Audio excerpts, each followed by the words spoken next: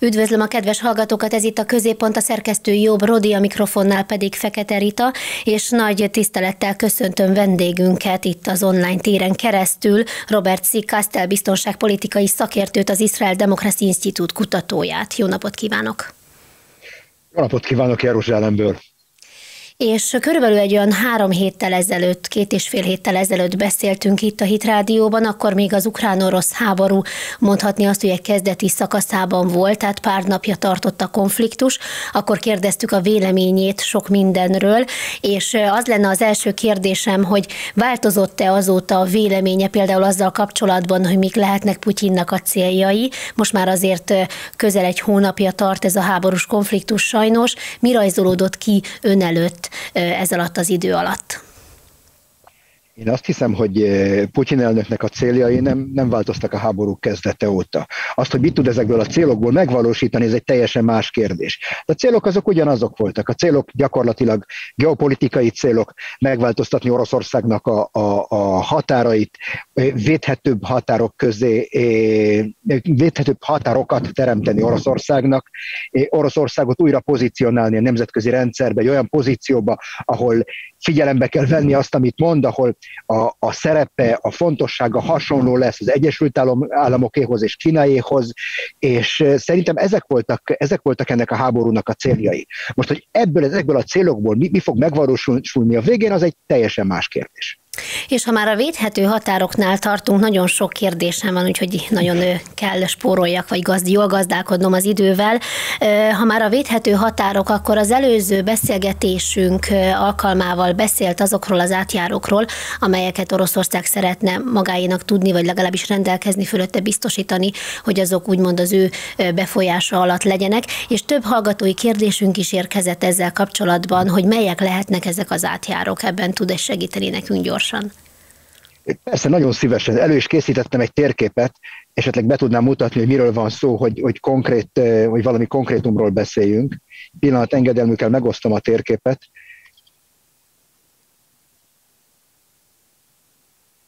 Mit látunk itt tulajdonképpen? Azt látjuk, hogy a, a Oroszország egy hatalmas síkságnak a közepén terül el, ami körülbelül Belgiumtól egészen az Uralhegységig terjed. És ennek a síkságnak van egy nagyon érdekes formája. Ez tulajdonképpen egy tölcsér. És ez a tölcsér egyre jobban szűkül, ahogy nyugat felé haladunk. Tehát ha olyan helyzetben vagyok, hogy az emberanyagom a demográfiai eh, dinamikák miatt egyre csökken az idő folyamán, akkor az érdekem az, hogy per pillanat, amikor még elegendő emberanyag áll a rendelkezésemre, minél jobban kitoljam a határaimat, határaimat nyugat felé, hogy a töltsér egyre jobban szűküljön.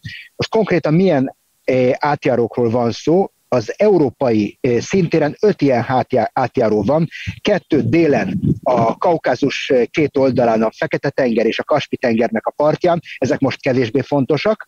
Ami fontos számunkra, az a beszarábiai hágó, vagy a beszarábiai rés, ami a Kárpátok és a Fekete-tenger között van Romániában, körülbelül a Prut folyónak a, a Prut folyó mentén van a legszűkebb része ennek a, ennek a beszarábiai át, átjárónak, és van egy nagy átjáró a lengyel-német síkságon, amit a, a képernyő közepén látunk, és van egy, még, még egy további kisebb átjáró a három balti, balti állam területen. Tehát, hogyha Oroszország ezt az öt átjárót lezárja, akkor nagyjából biztosítva van az invázió ellen Európából.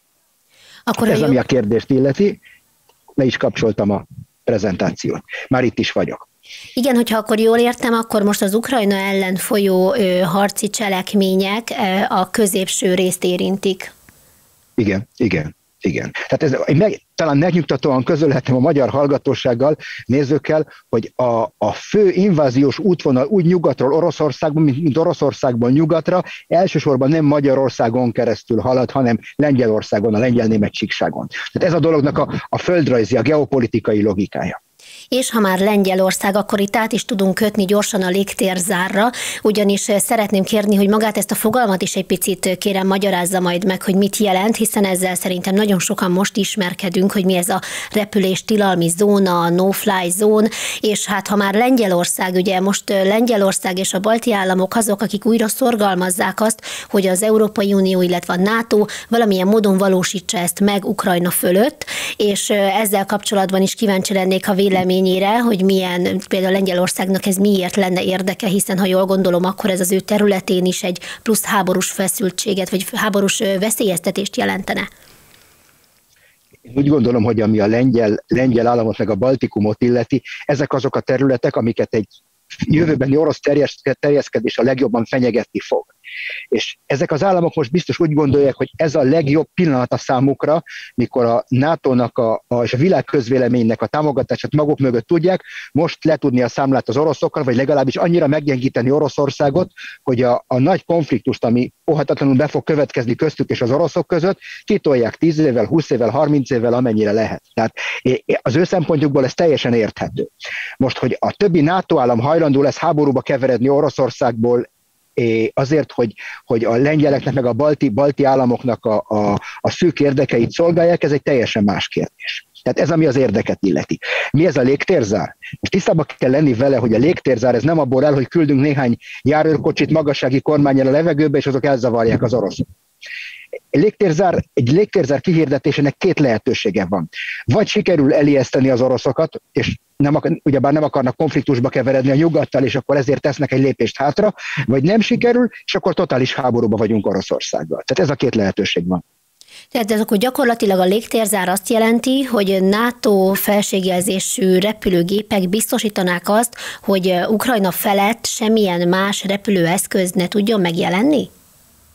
Ez azt jelenti, hogy a NATO-nak ki kell vívni a teljes, légi, teljes és vitathatatlan légi fölényt, air supremacy, hogy angolul hívják, a teljes légi felsőbbrendűséget Ukrajna légterében, vagy a humanitárius folyosók fölötti légtérben, hogy ott semmi ne tudja őket fenyegetni. És itt nem csak repülőgépekről van szó, hanem légvédelmi rakétákról, drónokról, helikopterekről, minden más, minden hasonló eszközről. Tehát ez egy teljes, teljes vertikumú légiháborút jelent Oroszországban. Nevezzük néven a gyereket. Világos. Nos, akkor a béketárgyalások, ugye elég sok fordulója volt már az ukrán-orosz fél között. Béketárgyalásoknak sok eredményről eddig nem tudunk beszámolni, legalábbis a közvéleménnyel nem osztották meg a részleteket, és sokan azt pedzegetik, hogy igazából akkor lesz megoldva ez a konfliktus hosszú távon, hogyha Biden és Putyin ül le egymással, és ők egyeznek meg valamilyen módon. Ön mit gondol erről? Azt hiszem, hogy ez egy nagyon helyes eh, hozzáállás a témához, mert eh, eléggé nyilvánvaló, hogy ebben a konfliktusban az ukrán fél az, amelyik kéri a tűzszünetet, kéri a békét, és ebből arra is következtetünk, hogy ki, kinek áll jobban a szénája a háborúba. Mert hogyha a, a, a sajtót, a médiát olvassuk, a médiát nézzük, akkor arra következtetésre juthatunk, hogy holnap-holnap után az ukránok bevonulnak Moszkvába. És nem ez a helyzet nem ez a helyzet. Szeretném emlékeztetni a hallgatókat arra, hogy Ukrajna összes nagy, legtöbb nagyvárosa orosz ostrom vagy kvázi ostrom alatt áll. Ukrajna területének a jó részét az oroszok elfoglalták, lerombolták az infrastruktúrának egy jelentős részét. Tehát itt nyilvánvaló, hogy az ukránoknak az érdeke békét kérni. Az oroszok talán ebbe bele is egyeznének bizonyos feltételek mellett, hogyha az ő politikai céljaik megvalósulnak. A probléma az, hogy én nem látom az amerikai fejet, felet per pillanat érdekeltnek lenni a háborúban. Az amerikai per pillanat, az amerikai kormány per pillanat nem érdekelt abban, hogy ez a háború itt és most lezárodjon. Világos. Beszéljünk akkor egy picit arról is, hogy mi a nyugati narratíva, ha már itt egy kicsit szót ejtettünk arról, hogy a nyugat hogyan látja ezt a konfliktust, és azért is, mert nagyon sok esetben megpróbálják úgy beállítani Putyint, mint egy elmebeteget, egy őrültet, akinek nincs kint a négy kereke, és azt állítják, hogy Oroszország ebbe el fog bukni, nem fogja tudni finanszírozni, csőd közelében van az orosz állam a szankciók következtében. Ezzel szemben mi lehet a valóság? Engem nagyon meghat, hogy ennyire a nyugatiak ennyire aggódnak Oroszország jövőjéért, szóval tényleg az embernek a szíve megszakad ennyi empátia látán. Ezzel, ezzel kapcsolatban csak annyit szeretnék mondani, hogy általában nem jó úgy tekinteni a másik félre, mint irracionálisra, őrültre, valaki, akinek nincs, nincs ki a négy kereke, hogy tetszett mondani. Ez nem egy jó hozzáállás. Miért nem egy jó hozzáállás? Két okból. Először is, ha valaki örült, akkor avval nem lehet racionálisan tárgyalni. Tehát akkor mi marad hátra egy totális háború Oroszországban? Milyen üzenet van ebben? A második dolog pedig az, hogy egy nagyon komoly erőforrás nekem, hogyha azt gondolják rólam, hogy irracionális, hogy félni kell tőlem, hogy valami előre nem láthatót fogok végrehajtani. Ez egy nagyon nagy erőforrás. Úgyhogy szerintem azok, akik ezt a Putyin őrült narratívát nyomják előre, nagyon jó szolgálatot tesznek az orosz Ez egy dolog. A másik dolog, hogy Oroszország képes lesz a hosszú távon ezt a háborút folytatni. Megjelent egy nagyon-nagyon érdekes cikk a, a Foreign Affairs-ben Oroszországnak a titkos bankszámláival kapcsolatban. Ugye már jött az Egyesült Államok, meg a nyugat, meg zároltak, meg tiltottak, meg embargó, meg stb., de az oroszok valószínűleg fölkészültek erre, és úgy tűnik, hogy 2014 óta fokozatosan több 10 milliárd dollárnyi összeg tűnt el kínai segítséggel mindenféle titkos bankszámlákra nyugaton, meg a Kajmán-szigeteken, és ezek a számlák ott vannak, ezek finanszírozzák Putyinnak, Oroszországnak a háborús tevékenységét, csak nem lehet hozzájuk nyúlni, mert ezek magánembereknek a számláin vannak, vagy a kínai állam, a kínai népi bank számláján vannak, a, a, a POBS számláján vannak, nem lehet hozzájuk nyúlni, az embargók nem, nem zárják le őket. Tehát arra számítani, sok, sok ismerősöm azt mondta, hogy egy hét múlva Oroszország fizetésképtelen lesz, és összeomlik az egész, én erre nem építenék. Világos. Egyébként így nagyobb, ha kicsit távolabbról nézzünk rá, akkor mit gondol egyáltalán erről az ukrán-orosz háborúval kapcsolatos diskurzusról? Mert azt lehet látni, hogy a pragmatikus, gyakorlatias hozzáállást, mint a felváltaná, főleg a médiában az érzelmi megközelítése ennek a kérdésnek, és ha valaki megpróbálja egy picit boncolgatni a valódi célokat, akár a geopolitikai ahogy ön nevezte, Oroszországnak van egy geopolitikai gyengesége, ami ugye egy adott dolog. Például ezeket felhozza, akkor gyakran megkapja azt a vádat, hogy Oroszország mellett áll, vagy nem ismeri el, hogy ez egy agresszió, és a többi. Tehát, hogy érzelmileg reagálnak az emberek erre. Igen, hát én azt hiszem, hogy minden jó érzésű nyugati ember e- empátiát érez az ukránok iránt, mint, mint a gyengébb fél iránt, mint azok, akik szenvednek, ahol a civil lakosság szenved, ahol gyerekek szenved, ahol millió menekültek vannak. Tehát ezt, ezt nem kell mondani, ez azt hiszem, hogy ez teljesen nyilvánvaló, ez egy dolog. Ugyanakkor, ami a médiát, nem csak a médiát, hanem ez egy, ez egy visszhangkamra tulajdonképpen, és itt van benne a média, a, a, a különböző kutatók, a, a közvélemény, gyakorlatilag eh, átmentünk teljesen ilyen BLM klímaváltozás Greta Thunberg üzemmódba. Tehát ez a, az állandó hisztéria, az állandó érzelmi hozzáállás a kérdésekhez, ez, ez, ez egy nagyon rossz tanácsadó tulajdonképpen. Én azt hiszem, hogy az egyik legnagyobb veszély Nyugat-Európa, vagy a nyugat biztonságára az a, a, a nyugati szavazópolgár, a nyugati közönségnek a tájékozatlansága a háborúkkal kapcsolatban. Nem szoktuk meg, hogy háborúkról gondolkozunk racionálisan, és akkor a háború az olyan, mint a BLM, George Floyd, klímaváltozás, akkor büntetünk, meg hisztizünk, meg, meg ezek a dolgok, és ez rendben van, mint érzelemnyilvánítás. De ez rossz tanácsadó. Sajnos ezt látom beszivárogni a médiából, meg az utcáról, az akadémia berkeibe is, meg a szakértők berkeibe is. Egyre kevesebben mernek szemben úszni az árral. Nagyon-nagyon veszélyes. Tudunk -e ezzel ellen bármit is tenni? Tehát akár, hogy a vezetőkig ne jusson el, vagy mit lát például a vezetők, mennyire hajlanak arra, hogy átvegyék ezt a fajta hozzáállást, vagy nézőpontot az ukrán-orosz háborúval kapcsolatban? Ők mernek még pragmatikusan, józanul megnyilatkozni? Hát én azt hiszem, hogy ez a különbség egy politikus meg egy államférfi között. Egy politikus együtt üvölt a farkasokkal, és azt csinálja, amit az utca diktál neki. Amit pillanatnyilag az utca diktál, azt, eh, azt csinálja. És erre klasszikus példák, példák vannak. Merkel asszony erre épített egy teljes politikai karriert, meg egy renomét. Eh, Yasser Arafat, a béke és az áldás legyen vele, eh, híres terrorista volt, de ő is erre építette az egész karrierét. Amit az utca ordított, azt ő ordította velük. Ezek a politikusok. És vannak államférfiak, akik mernek szembeúszni az árral, és mernek azt mondani, hogy engem meg megválasztottak, én azt fogom tenni, amit én jónak látok a, a, a közérdekben. Ha nem tetszik, a le lehet engem váltani, demokratikus rendszerben élünk, tessék leváltani engem, de ameddig itt vagyok, addig a felelősségemet fogom érvényre, érvényre juttatni, és nem egy népszerűségi ilyen like versenyben veszek részt a Facebookon. Mennyire próbáljuk meg ön szerint megérteni egyáltalán az orosz gondolkodásmódot itt nyugaton, és mennyire tudjuk ezt magunkévá tenni, mennyire tudunk úgymond orosz fejjel gondolkodni, és nagyon érdekelne, hogy ez a különböző civilizációk vagy társadalmak milyen alapon gondolkodnak például egy ilyen helyzetben.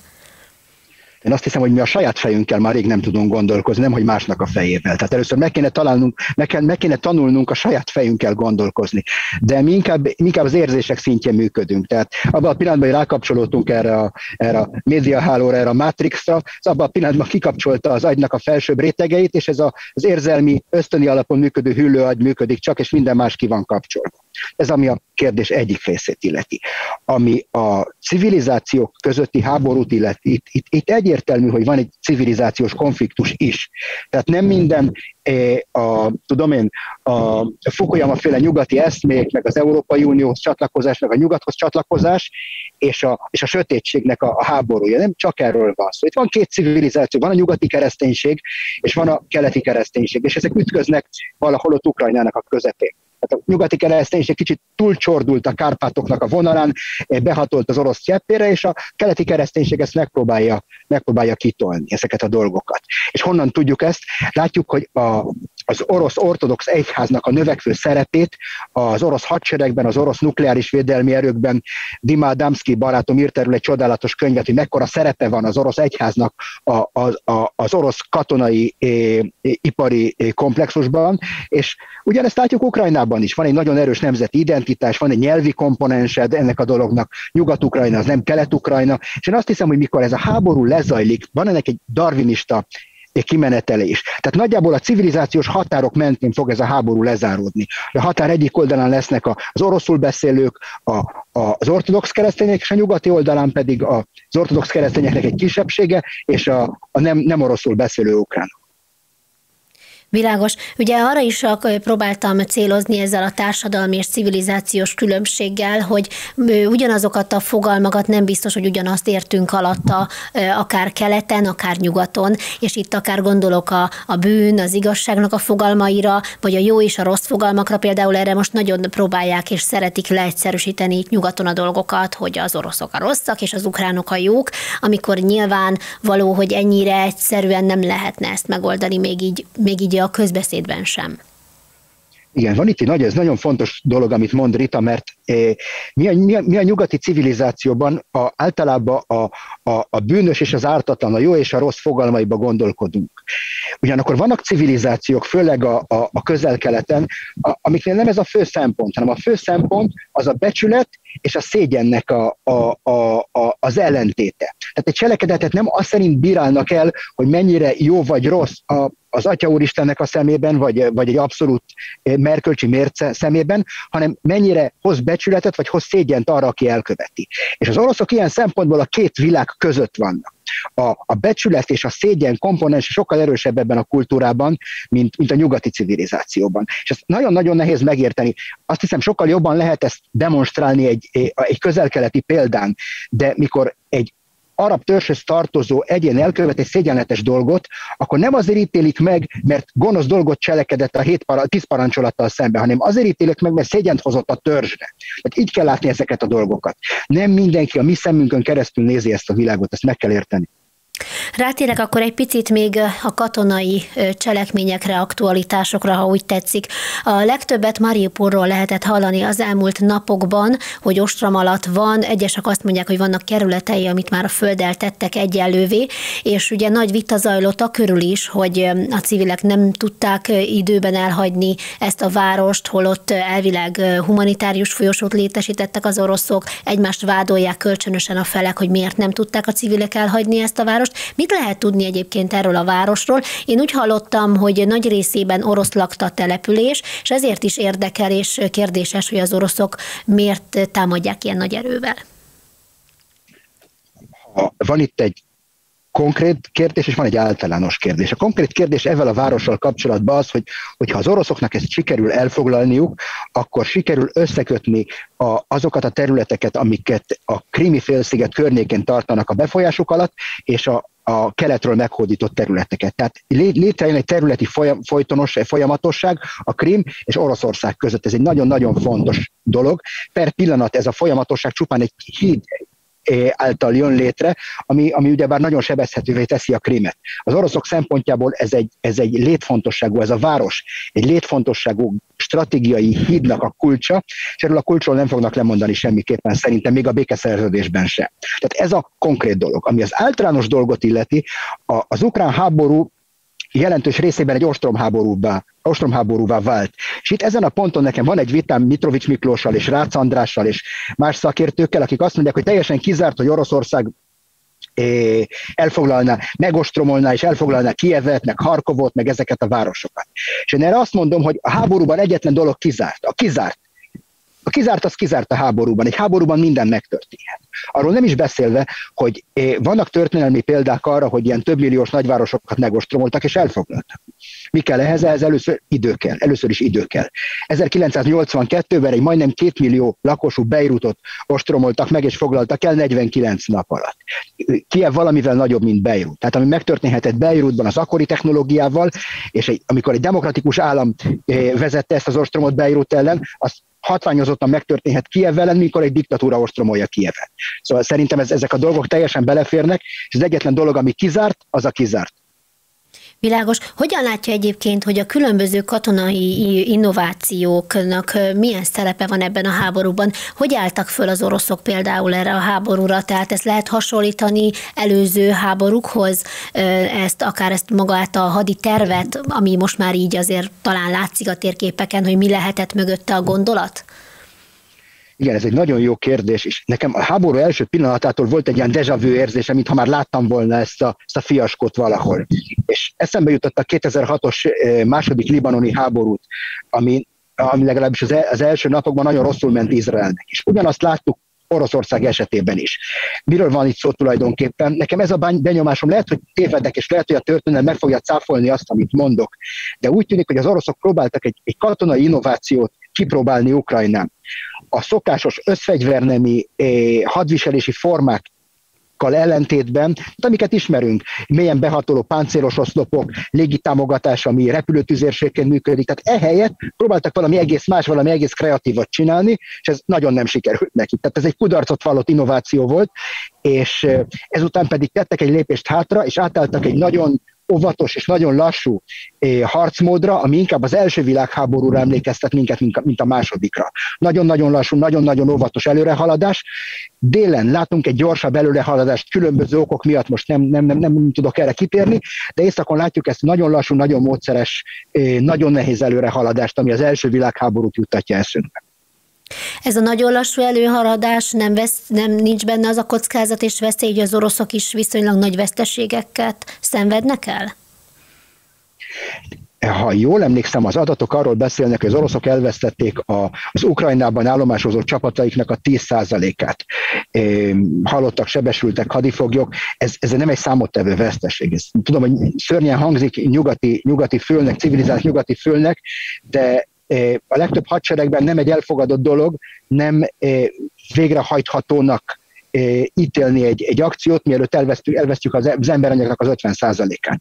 Tehát egy 10%-os veszteség az, az semmi. És ne felejtsük el, hogy Oroszországnak van egy teljesen intakt hadserege, Belorussziában, Fehér Oroszországban a 23-as összfegyvernemi hadsereg, és nem csinálnak semmit ott állomásoznak. És ezen kívül van Oroszországnak körülbelül 10 millió hadrafogható ember, akiket be lehet sorozni, ki lehet képezni, minimális gyalogsági kiképzéssel néhány hónap alatt, és be lehet őket vetni ebbe a szörnyű kohóba, ami, amivé Ukrajna válik.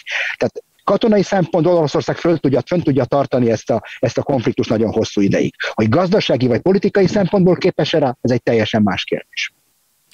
Szeretném, hogyha reagálna egy aktualitásra is, méghozzá arra, hogy Zelenszky elnök, az ukrán elnök több alkalommal is élt, például egy holokausztal kapcsolatos párhuzamokkal az ukrán népet illetően, és úgy tudom, hogy ezt még izraeli vezetők előtt is megengedte magának. Mi erről a véleménye, és mi a vízhangja Izraelben ennek? Tehát emberileg én azt hiszem meg lehet érteni, mikor valaki fuldoklik, akkor belekapaszkodik minden szalmaszálba, és megpróbál minél erősebb eh, gombokat nyomni, hogy hason a, annak a közönségnek a lelkére, akire hatni akar. Tehát ez egy dolog.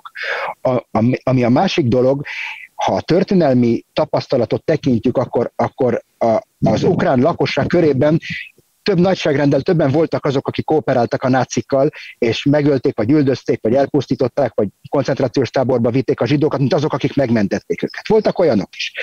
Ez az egyik dolog. A másik dolog az, hogy Ukrajna nagyon vigyázott rá, hogy az utóbbi tíz évben, vagy tizenvalahány évben következetesen Izrael ellen szavazon az ENSZ-ben minden lehetséges szavazás.